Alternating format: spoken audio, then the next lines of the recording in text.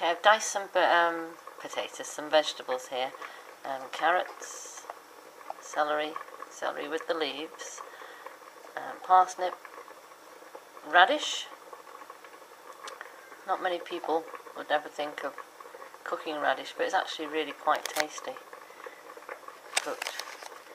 Um, if you don't like radish, if it's a bit too spicy for you, if you the same with celery, it makes it much milder, much tastier, I think. And I'm going to add, um, I'll get a potato as well, chop that up, and yes, and you might think I'm a bit loop-de-loop -loop here, but I'm adding a little bit of um, diced, diced, chopped up um, cos lettuce, yeah. Now I mustn't forget the potato, hang on. Yeah, just a smallish potato, that one will do. There goes the potato. I am in fact making this up as I go along with whatever I have to hand. Um, most of the vegetables I got from Sainsbury's as they were closing for the evening. So they were all like about quarter, quarter of the price that they normally are, which is all good. So I've now added to that um, a bit of pepper, a bit of garlic, and a vegetable stock cube, a Sainsbury's Basics vegetable stock cube, which last time I looked were 10 pence for 10. That's, so that's a penny. Wow, last of the big spenders. And I put some cling film over the top. And I'm just going to pierce that cling film. Whoops, can't do that with one hand. And the camcorder in the other. Pierce it in a few places. I've also added um, a about a tablespoon of water just to set it off. I'm going to do that in the microwave. Um, 30 seconds at a time, give it a shake, 30 seconds, give it a shake until they're all nice and soft and cooked. In the bowl here I've got 6 ounces of flour and I'm going to add, sorry 12 ounces of flour, I'm going to add 6 ounces of shortening. You can use margarine, butter, uh, lard. Um, if you're using lard, best using half lard, half margarine. And um, cheap flour. You don't need any other. there's no need really to buy the expensive stuff. You can buy a big pack of um, flour for I don't know. I can't remember. I don't really notice 60p or something. And we're going to mix that together by um, rubbing in. Usually use two hands, but I've got the other hand on the camcorder. Just get your fingers up and rub like this. And rub it into the flour. Until it goes crumbly. Nice and lightly. Lift it up.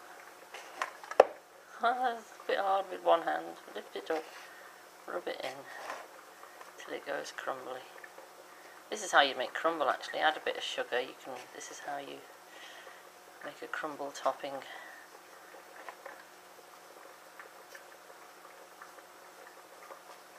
Don't squeeze it together because it will go into a hard lump. You don't want a hard lump, you want it nice and crumbly. This is going to be the pastry for the pie. So there it is, nice and crumbly. You can of course make this a bit healthier. You can um, use wholemeal flour or you can add maybe some bit of roughage by adding and and um, omega by adding linseed, powdered linseed or oat bran, which is apparently good for your heart. You could add a bit of that, but make sure you weigh it in with the flour when you do it. We're going to add some water there now, just a little bit at a time, because you have to be careful not to add too much water to um, bring it all together so we can roll it out.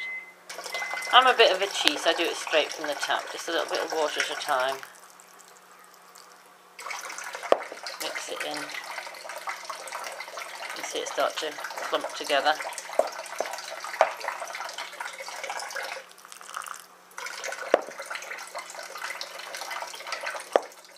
Keep doing that until we've got a nice big lump of pastry.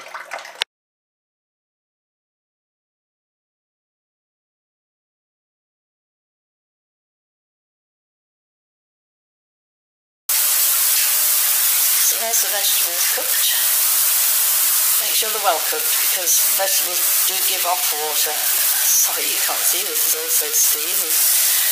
Um, they do give off water as they're cooking, so if they're not cooked properly, you put them in the sauce, they're going to give off water and your, your whole pie filling is going to be far too runny.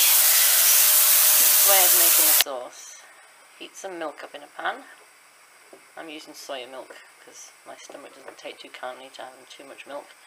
Um, a bit of corn flour, tablespoon or so, and mix that with water. Always mix it with cold water.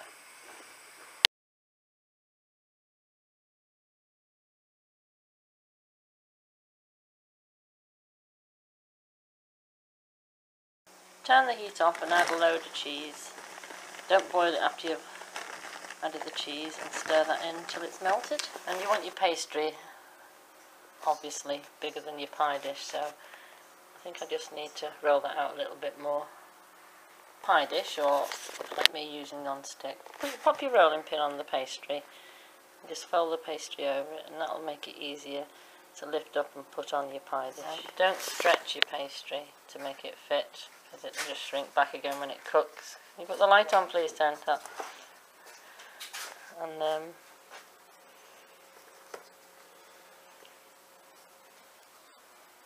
I've made far too much. Never mind, we'll use that for something else.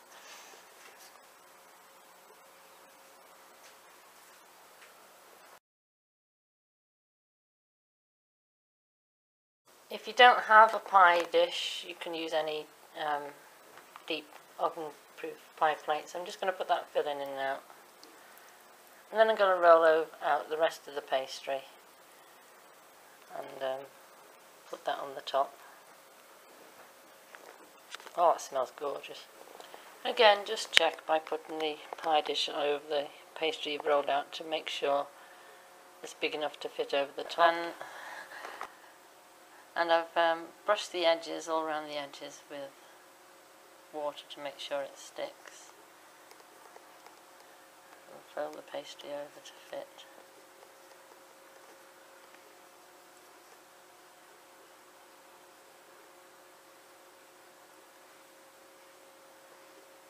And then we'll trim the edges like we did before. And just go around pressing the edges together to make a seal.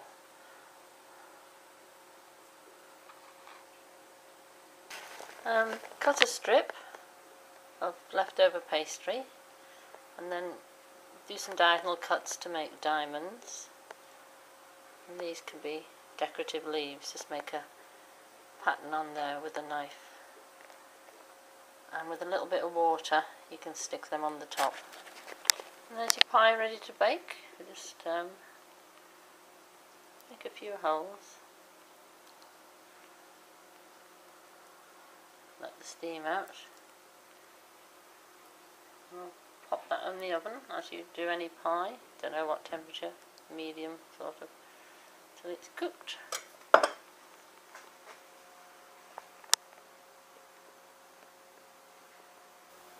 Uh, what I've done with my leftover pastry is to knead a bit of um, cheese into it and roll it out. I'm just brushing it with water so that when we put a bit of seasoning on I'm going to use a bit of um, bit of salt and chilli sprinkle over the top and they'll stick nicely with the water on there. I'm going to, oh I'm shaking the camera, they're going to um, going to cut them out and bake them at the same time as the pie. Um, excuse me, I'm just eating some of this now. This is so delicious. It doesn't look much there. But as you can see, we've had quite a bit of it already. That was last night, and I've just had some for breakfast. It was a bit naughty, wasn't it?